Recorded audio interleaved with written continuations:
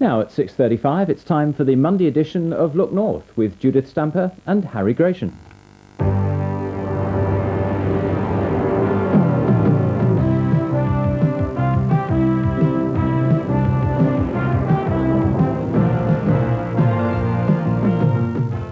Tonight, 300 jobs under threat after flooding at Yorkshire's biggest open cast mine.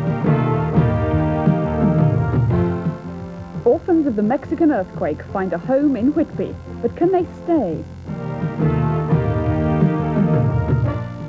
And two decades on, a look back at 20 years of Look North.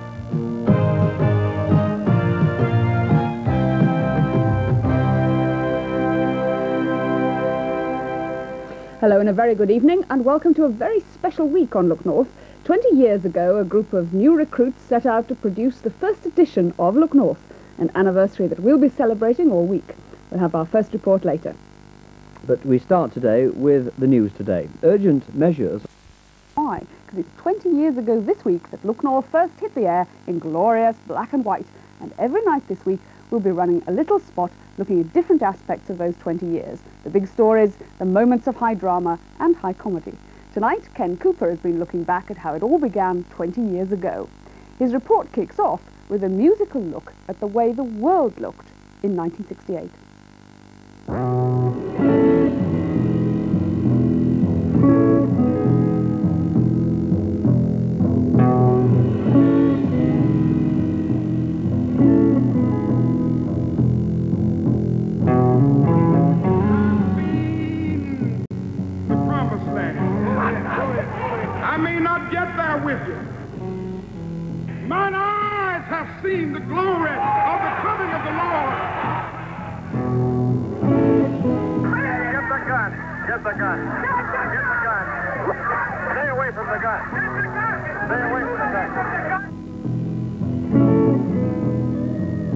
But I'm uh, an optimist. One uh, must be. J'y suis prêt. Cette fois encore.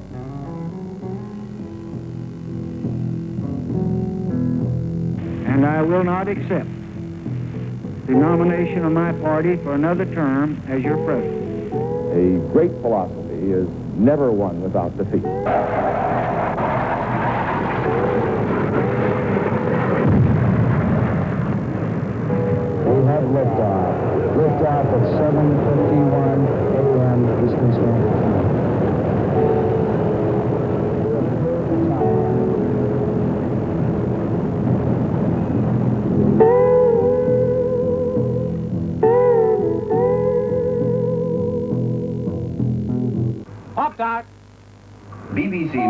North from Leeds. Two, one, uphill. Right, Q, Barry. Line one next.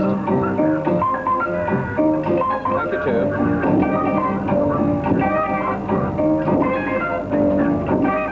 Q, Barry. Away they go, the racing hounds of one of the North's oddest sports. Zero. Captain Kieran, how 20 years ago, on Monday, March the 25th, 1968, at 5 to 6 in the evening, an untried but solid workhorse called Look North got up off its haunches and began a gentle trot, and often a full gallop, through the busiest news terrain in the land. We'll take time out to roam the Cleveland Way. The programme came from the first floor of an elderly church hall, All Souls in Blackman Lane, though the brave pioneers knew it better as Lost Souls. It was neither excessively clean, nor in winter excessively warm. Morning radio broadcasts were interrupted by vacuum cleaners and barking Alsatians. And come transmission time, the Boy Scouts downstairs had to be asked to stop marching up and down. On that first day, some of today's Look North staff were still in nappies, looking forward to their first taste of solid food. A sobering thought, for to them today, the pioneers' equipment must look like museum pieces, which indeed some of them now are. And yet the new programme brought, for the first time, a nightly diet of regional news and views to one and a half million homes in Yorkshire and Lincolnshire. People who, up till then, had to make do with occasional offerings from the parent Look North in Manchester.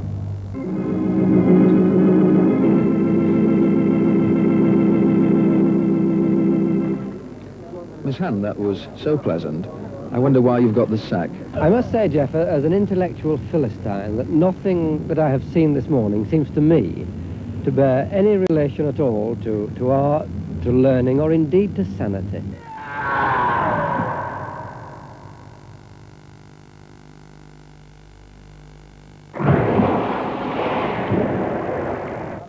Nowadays, it's a cliche to speak of a small and enthusiastic team, but that's just what they were.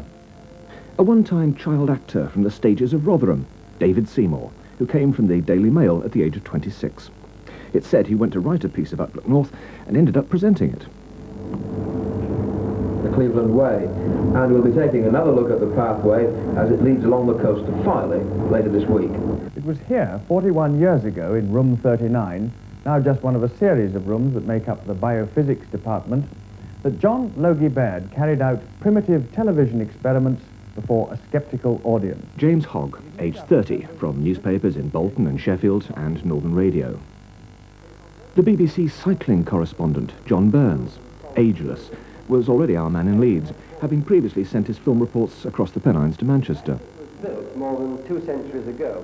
There are more acres in Yorkshire than there are letters in the Bible. Indeed, there are 3,897,000 and a few more. And Eddie Waring built himself a career and a following both in and out of rugby league. But John Poulson, overwhelmed by his friends... Philip Hayton wasn't in at the very start, but his became a familiar face in the north long before he went national. And there was Barry Chambers, undoubted star of a programme that didn't officially believe in presenters as such.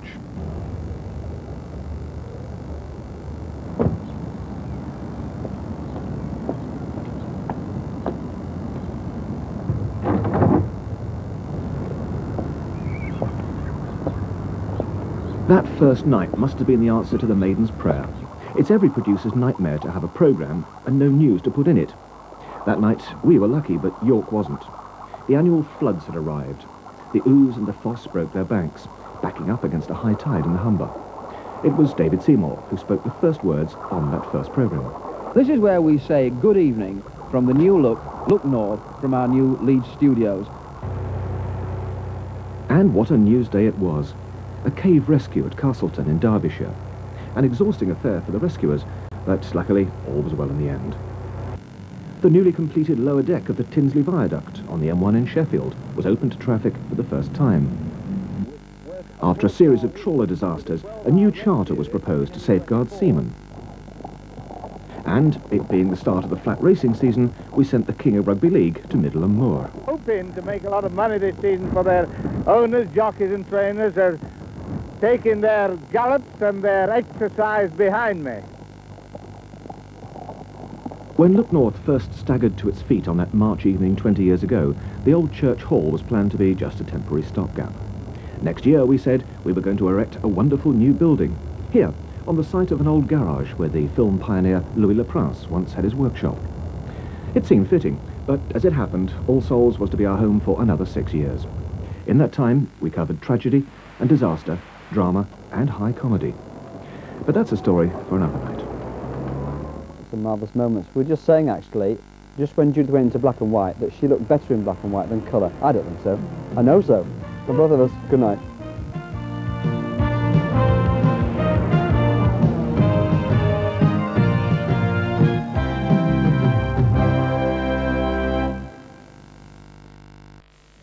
Now at 6.35 it's time for Tuesday's Look North with Judith Stamper and Harry Gration.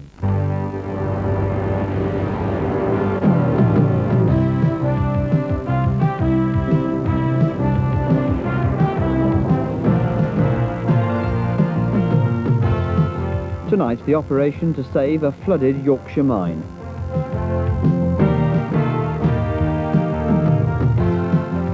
Bradford's Alhambra plays host to the Northern premiere of Cat on a Hot Tin Roof. And two decades of news and sporting action as Look North looks back.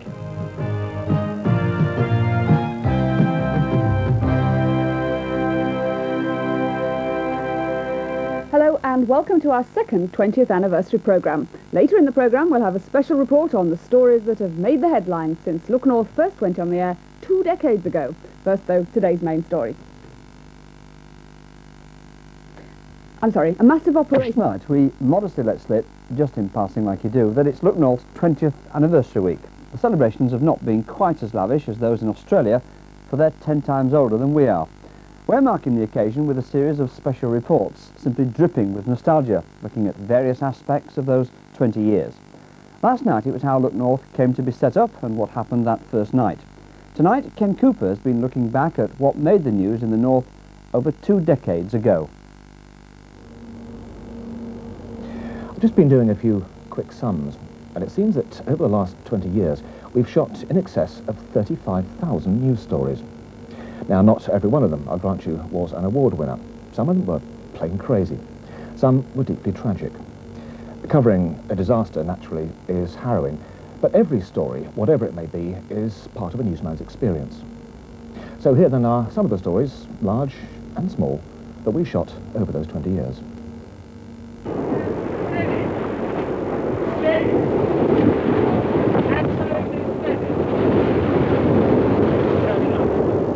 The two cod wars of the 1970s were by far and away the most dramatic blows suffered by Britain's fishing industry. The idea of a 200-mile limit had been accepted in principle by most fishing nations, but no one could agree how it was to operate in practice.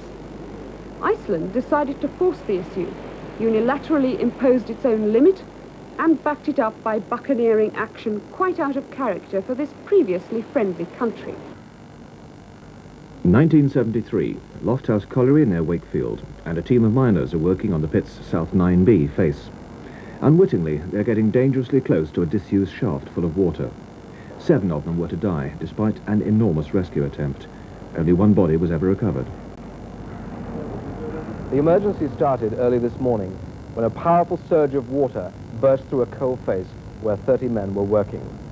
Most of the miners managed to force their way through shoulder-deep water and escape, but seven miners are missing. Now, your father was down there, wasn't he? Yeah. Did you see him? I saw him come out and that was last and one up bloke said he was running a bit back of us but he couldn't keep up. The blast at Nypro's chemical plant at Flixborough on South Humberside was Britain's worst peacetime explosion. 28 people died and 155 were injured. The insurance companies expect to pay out 36 million pounds before every claim is settled. Is it not? But as in every discipline, we break through barriers of knowledge and technology. We do by these very advances, which are to enrich life, we make life yet more precarious. Just one slip, and the abyss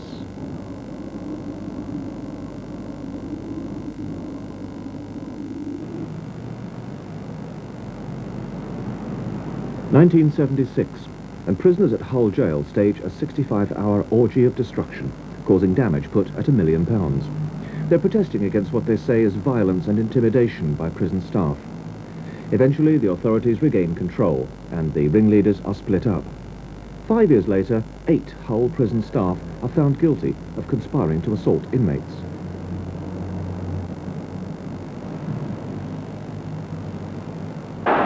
Number seven, Lorimer. Mick Jones out on the right. Number nine. 1972, and Leeds United beat Arsenal to the cup. Trying to take on McNab on the outside. He's round the back. Clock. 1-0.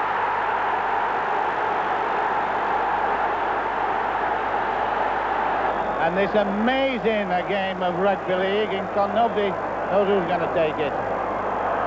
Ah, this is a trying to goalie. I could do something. Oh, he's going over for a try. He's going to score a try. It's a try. Sensational last minute try. Sensational last minute try. 11-10. And all on this goal. And Kick. What a grandstand finish this is. He missed it! He missed it! Don! It's on the ground! He missed it! Europe's leading architect of the 60s, John Poulson of Pontefract. During his examination in bankruptcy, there are astounding revelations of payments and gifts to politicians and prominent civil servants. In 1974, he he's jailed for seven years for corruption and conspiracy. but were crimes of a different magnitude altogether. The newspapers gave him a name, the Yorkshire Ripper. A huge investigation unit was set up in Leeds, but because of the connection with red light areas, there was a reluctance for people to come forward. And although the police knew he worked in the engineering industry, Sutcliffe was leaving few other clues. By 20 to 3, Sutcliffe knew it was all over. He said suddenly to the interrogating officer, Inspector John Boyle, You think I'm the Ripper, don't you? Well, you're right. It's me. The following afternoon, Sutcliffe was driven to Dewsbury Magistrates Court. A huge crowd had gathered outside, and when he was bundled past the masked photographers, his head covered by a blanket, it was as if the pent-up feelings of millions of people were finally released. Relief that at last the Yorkshire Ripper had been caught.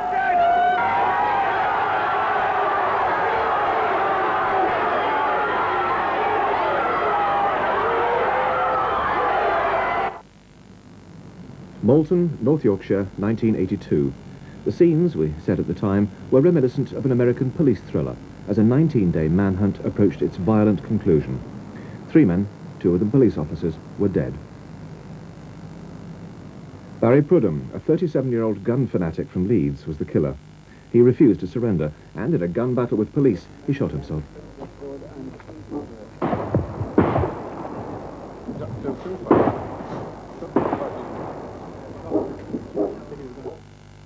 The flames of the burning south transept roof could be seen all over York as the minster blazed.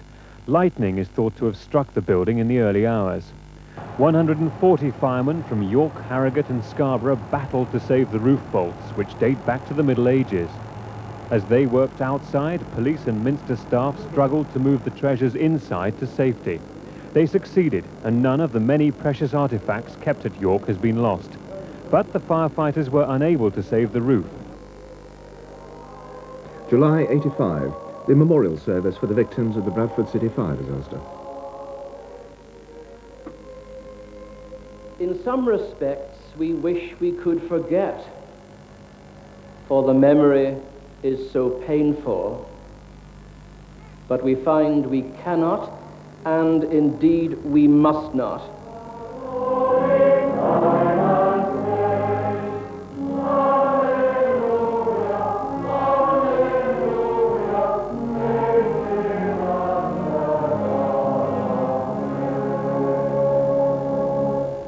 Last year there had been considerable violence in Grimethorpe involving miners and police. This morning there wasn't a policeman in sight as the march stopped the village bus service as the miners went back to work. The pit had seen only a handful of miners in 12 months. Suddenly it was inundated. Grimethorpe Colliery won't produce coal for some weeks, but work has resumed. Doncaster Rugby League Club, doing nicely now, but there was a time when the manager put every one of them up for... When was the last game you won? It's a long time ago. It was against Huyton last season. Um, But, I mean, every, everybody beats Huyton. They beat us 20-0 this year. We were the first one to play on the Huyton ground. They hadn't, hadn't got a team, they hadn't been, had any wages for a month, and they beat us 20-0. Couldn't be said you bought the wrong men, could it? Could be, yeah. We're not infallible. Obviously, we're not infallible. Well, having seen that little lot, I think you might agree that ours has to be the hardest news area in the country. Well, at least at times. Throughout those 20 years, though, we survived on characters, and it's with a character that we shall end this little slot. Ladies and gentlemen, the mole-shooting vicar. The mole, by the way, is so intelligent that uh, it, it is almost human in its, um, in its modus operandi, that is, method of operation. And uh, as far as I'm concerned, um, it's a case of uh, matching wit with wit. Do they? There's a mole there, I must get him.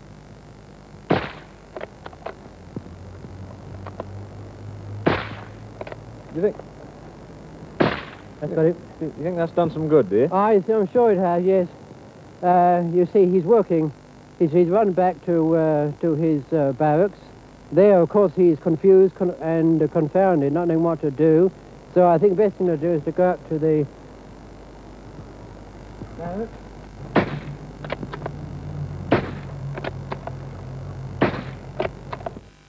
Yeah, don't get too alarmed, by the way. Nice luck, that, wasn't it? The problem there, of course, was that that was an April the 1st item, that uh, Vicar, so don't get too alarmed about it. There is a special Look North exhibition going on from tomorrow in the Bond Street Centre. Judith's dressing room might be there as well. Man, it's too big, is that? See you, bye-bye.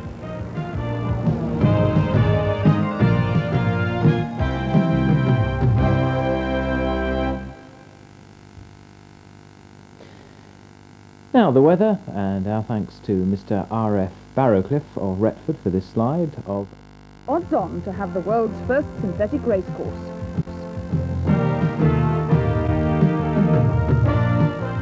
How technology's changed in 20 years of Look North.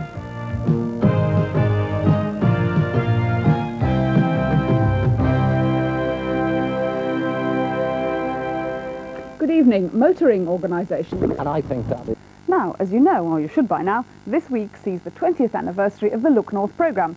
Tonight we're looking at the way we brought you the news then and how it compares with what goes on today. Ken Cooper enlisted the help of some of our colleagues to explain away the technological mysteries.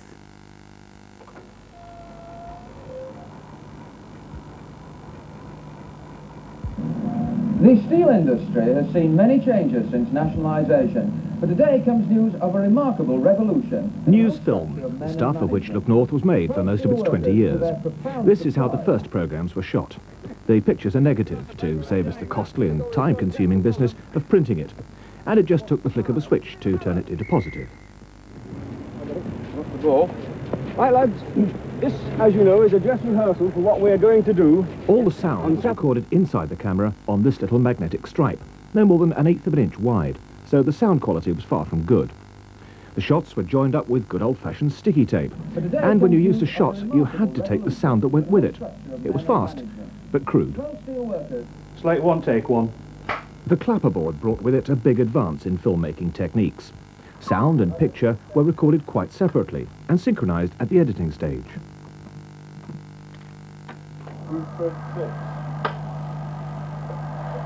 Oh, sweet and lovely lady, be good. For the first time, the picture was not tied to the sound.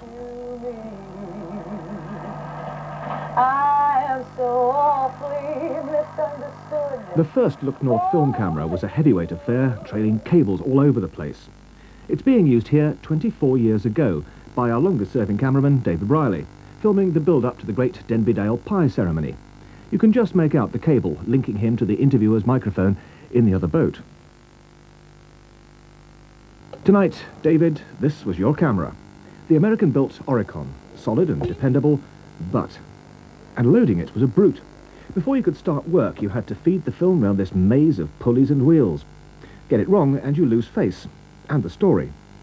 Well, David now owns a rather newer camera, but he still has strong feelings about this old brute. Well, I suppose it's one of nostalgia in a way to see a camera like this, because I'd used one for about 10 years in 1968.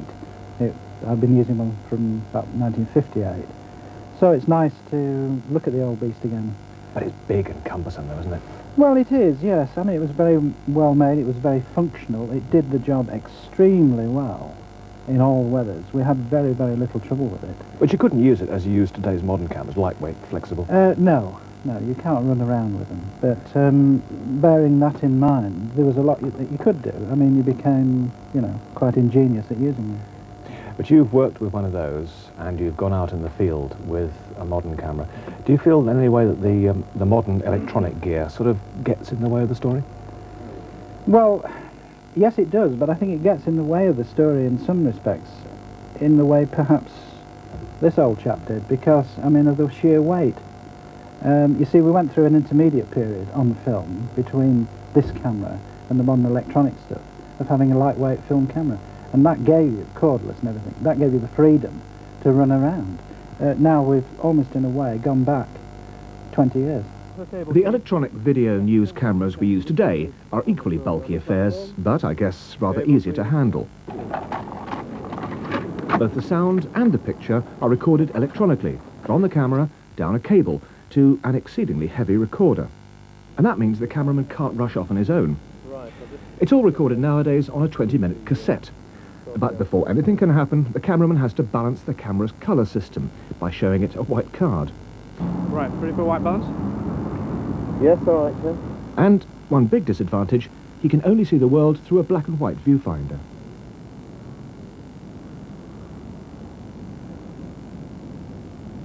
I suppose, as everything these days is instant, this equipment is superb in, in the fact that it can be connected up by a few cables to produce live pictures and to be linked up to satellites and pictures from anywhere in the world can be shown quite easily.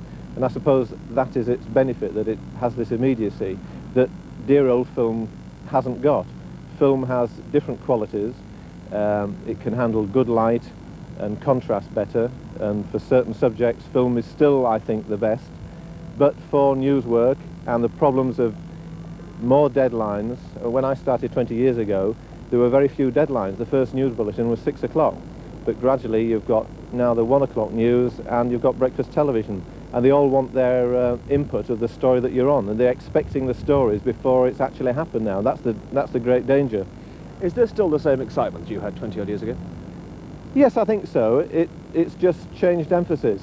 The fact that you can be working now up to half an hour before the programme goes out on air, um, that in itself makes the adrenaline flow faster than we ever knew in the old days of film, where you'd send the film back at 2 o'clock in the afternoon.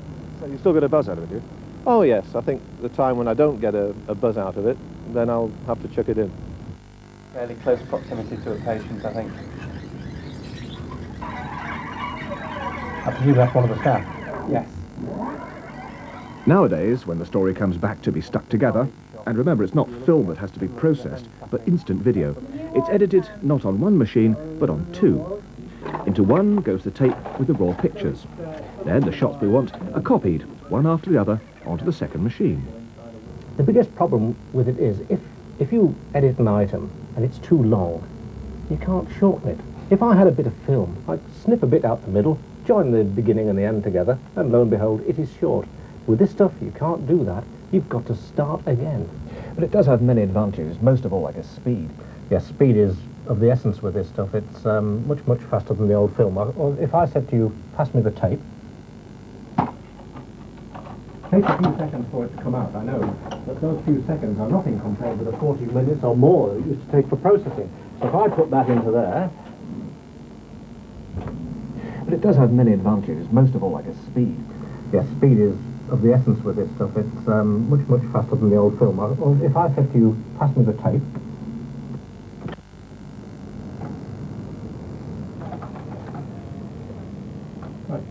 if I said to you, pass me the tape, With the amount of electronic gizmos now at our disposal, it's easy to go a bit over the top. Graphics have come a long way from the days of sticky tape, letraset and cardboard. This little device can memorize any picture we care to feed it and store it away till we want to use it.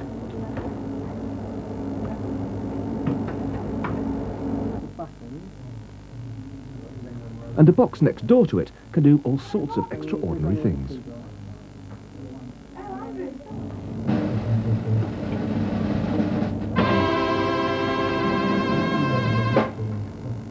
Makes you dizzy, doesn't it? Now, in the old days, we used to have microphones like this. You could hide behind them. Times have come on since then, I'm glad to say. This one we stopped using last week. From both of us, good night. So good night, Judith. You can remember using that. You're oh. old enough, aren't you?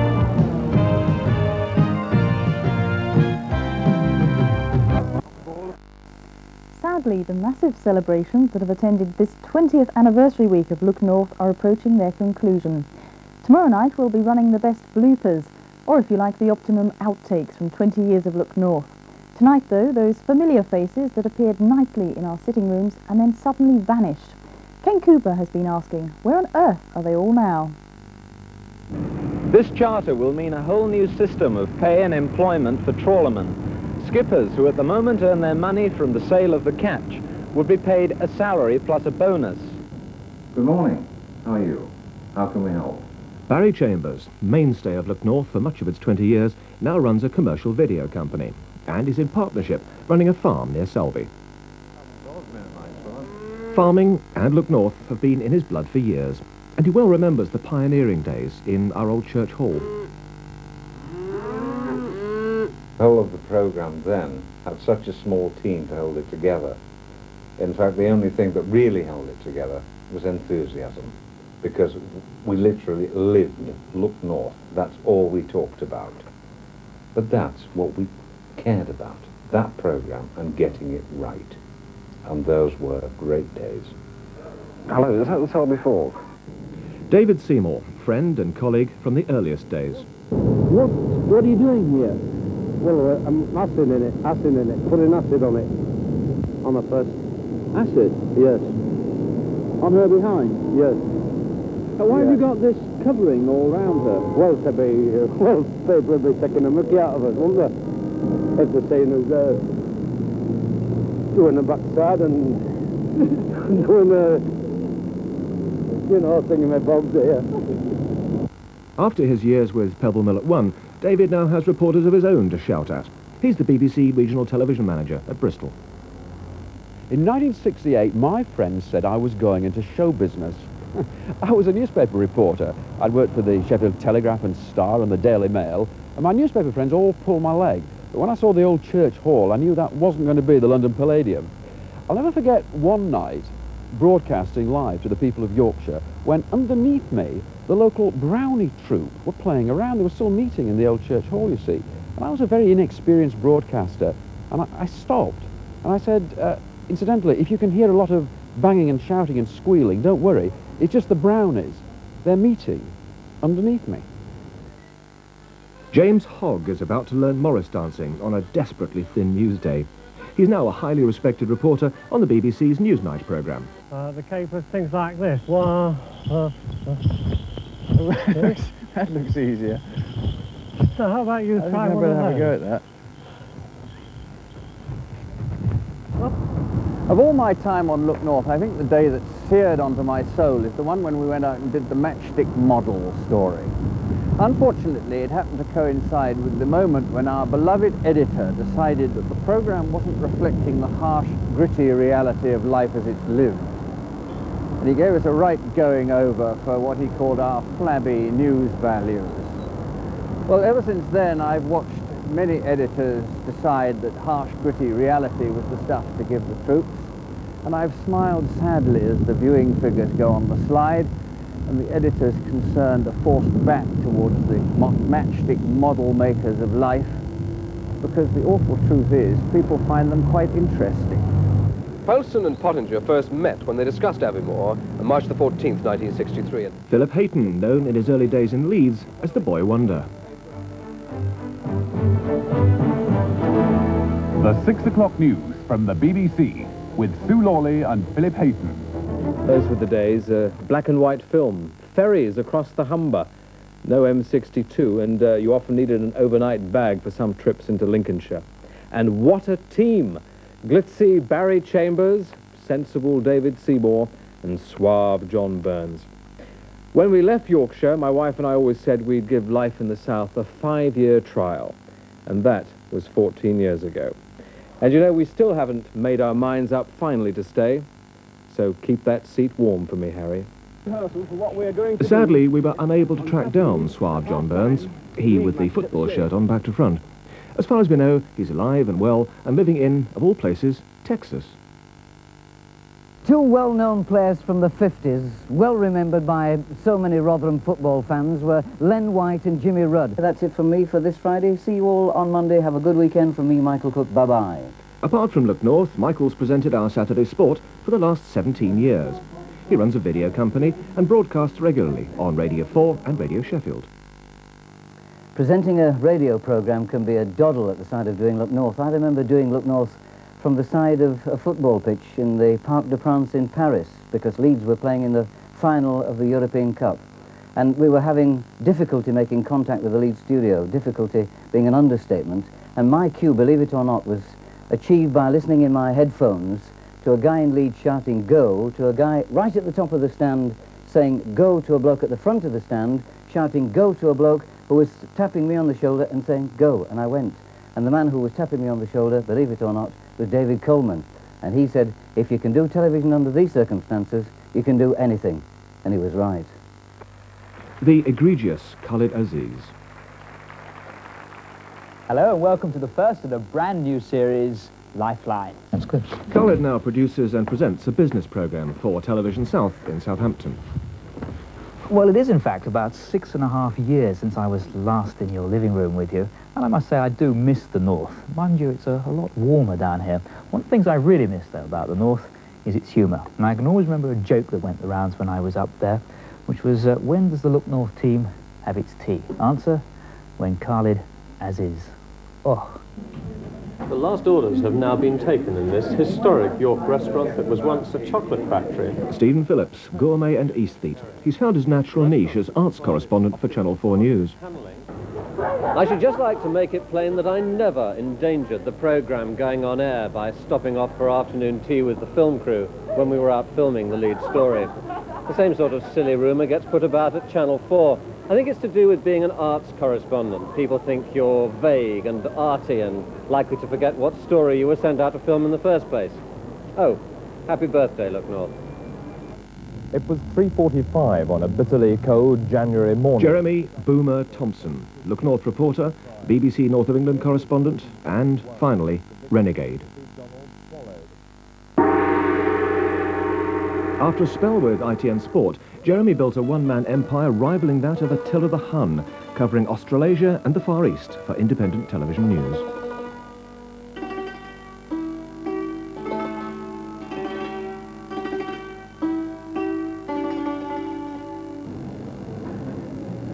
Well, I suppose it's no great surprise to find a former Look North reporter in a bar, but an oxygen bar? This is the latest idea in Japan for a pick-me-up. It's just a shame they didn't think of it in Tadcaster before they thought of it in Tokyo. Happy anniversary to you, all of you there in Yorkshire and in Leeds. This is Jeremy Thompson in Tokyo saying sayonara. Another Look North man who's ended up a long way from Hull fish docks, Tim Hewitt, who, after a posting in Warsaw, now controls the other half of the world for ITN. That's always been the British way. The regulations have insisted that it be so.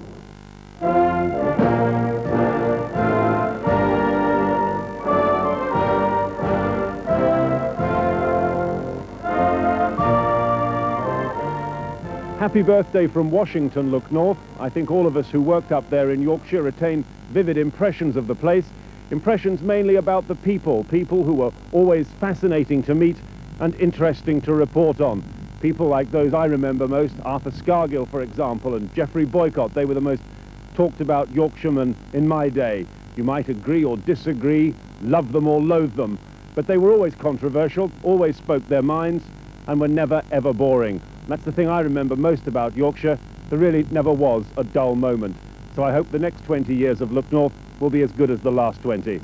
Police are not ruling out altogether. And national newsman Mike Smart, one of the very best we ever produced. But when Smarty got it wrong, he really got it wrong. Well, here I am in sunny Belfast, and I hope that this uh, contribution gets back in time for the anniversary programme. There's a chap called Phillips who's offered to drop it in on his way through Leeds.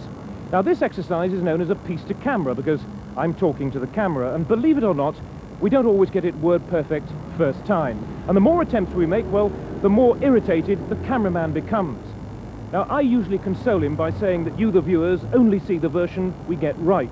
Well, that's not altogether true either, because these attempts at a piece to camera outside York Crown Court a few years ago actually went out on the air because some of my colleagues thought they were funny.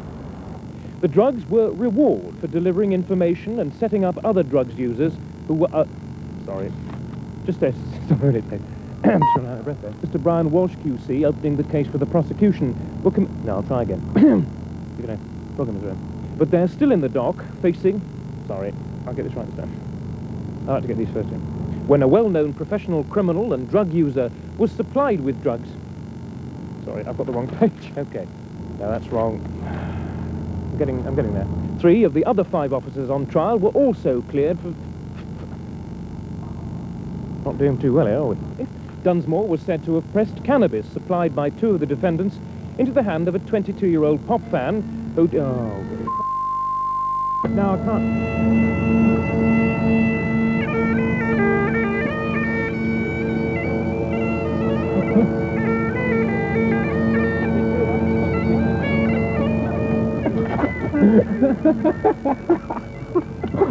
believe it. Poor old Snot, he did get it right in the end. And tomorrow night, by the way, we unveil the Look North Cavalcade of Classic Disasters. That's uh, tomorrow night. Well, I hope you've enjoyed the programme. Sue and myself will be back uh, tomorrow night. I said I'd give a quick word for St Bridges Roman Catholic Middle School. They gave me a cheque for a thousand pounds for comic relief today. Thanks for that. Cheerio.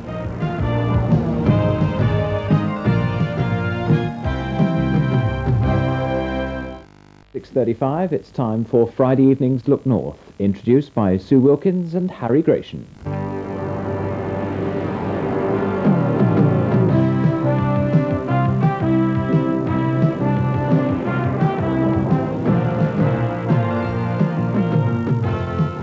Tonight, the last tallies are handed in at Mansfield Colliery after eight decades. Health Minister Edwina Currie gets caught up in the row over Humberside's cancer children. And oops, the things that have gone wrong in 20 years of Look North.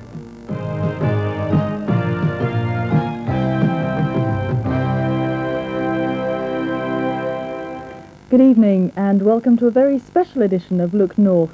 For tonight is our 20th birthday. It's exactly 20 years ago tonight that Look North first appeared on your screens.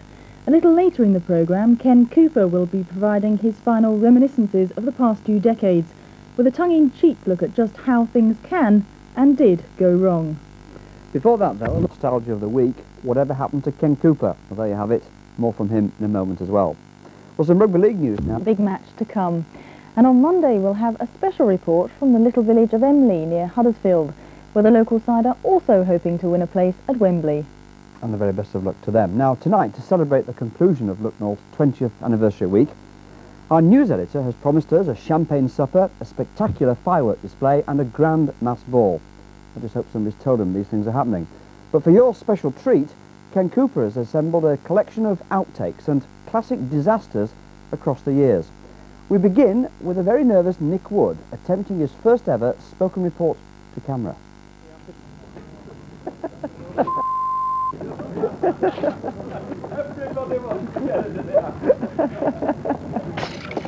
Don't bring it back. It's brilliant. The prosecution alleged that the gas board engineers...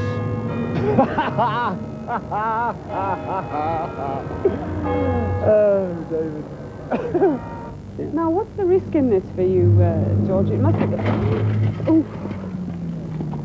Right, we'll get this right then. Okay, Mike. According to Mr. Brian Walsh QC, opening the case for the defence. According to Mr. Brian Walsh QC, opening the case for the prosecution. He seems not to have settled in very well yet to the one gay day. Gay day.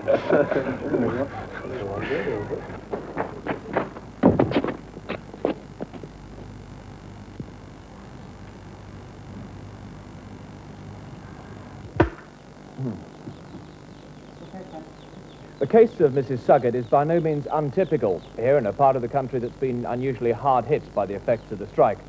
And as she points out, if there's no guarantee of...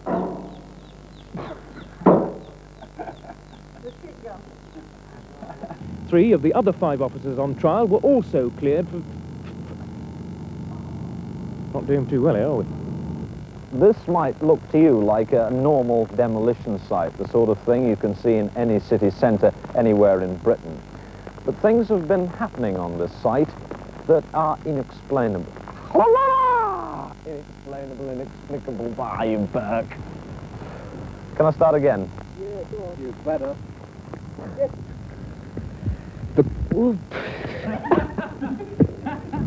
As that we have no objection. Never stop for a moment. Would you like to go away? Yeah, you're all right. I know, I'm, I'm perfectly well, thank you. But you see, you're in our way. Hey? I mean, would you like to go? The gentleman down there was looking to have a word with you. We could have picked a better place. Can you just wander down there? Would it be? See those men over there? British broker. That's right, yeah. Chappie over there wants a word with you. Can you go and have a chat with him? Beg your pardon? But 80% of the miners are on strike, and the row continues over when the stoppage will begin to take effect. Bolsover's mining MP, Dennis Skinner, believes the power stations have only two weeks of coal left to burn. Now, Mr Skinner's with us, I believe, in our London studio. Mr Skinner, can you hear me, first of all? Yes. Are you, uh, you're from Scarborough?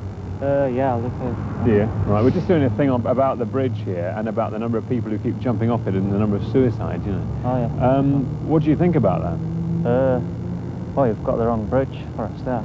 Have we? Yeah. Do you Why? not know? You want to be on Valley Bridge. Oh, no. Five, take one. Well, our matters came to a head last autumn when a sizable chunk of plaster fell off one of the walls. Oh, dear, that hurts. Oh, we'll try that again, shall we? And believe me, here in Harrogate, the Watch Committee really lives up to its name. I wish the mothers did. Leaving bus passes for elderly people. That's me here.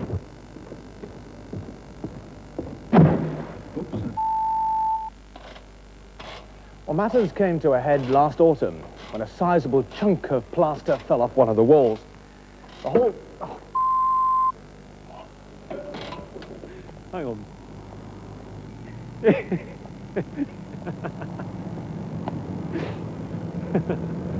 Hang on.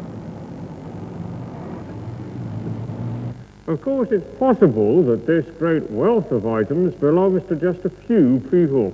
If you like, a hard core of absent-minded passengers who regularly lose things and then buy replacements rather than claim what's gone.